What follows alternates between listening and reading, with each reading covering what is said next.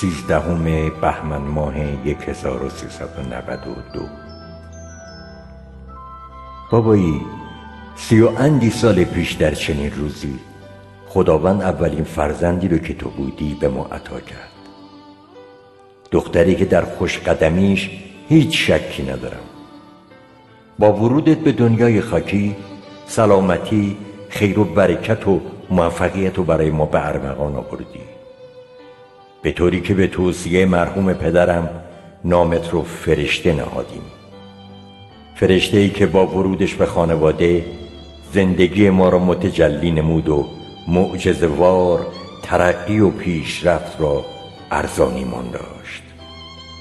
چون این روزی رو هرگز فراموش نمی کنیم و ضمن شاکر بودن از خداوند مهربان امیدواریم سالیان سال با سلامتی و موفقیت به زندگی ادامه دهی و دست گلی که خداوند هدیت کرده به نام دانیال دامادی و نوه و نتیجهش را ببینی.